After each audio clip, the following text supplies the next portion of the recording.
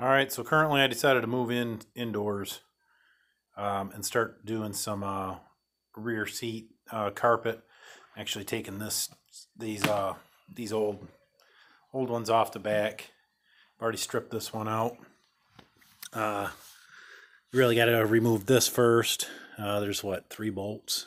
There's three bolts that come in here, and then you got to take the handle off too that lifts up, uh, so you can slide this uh, slide that black uh, piece of trim right there out of there. And then you got to pull from the side. You got to pull all these plugs out.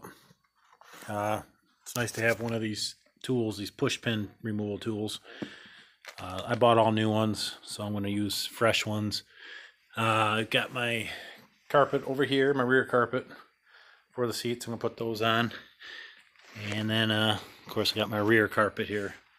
Got the, the running pony on them. I guess that was the uh, the difference I was going to tell everybody about once I did it. Something special I did. Anyway, didn't come with the car, but I always liked that design. So got the running pony for the hatch.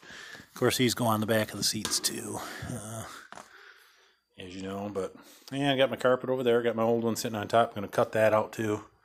Get that ready. It's just uh, just raining nasty today in Michigan.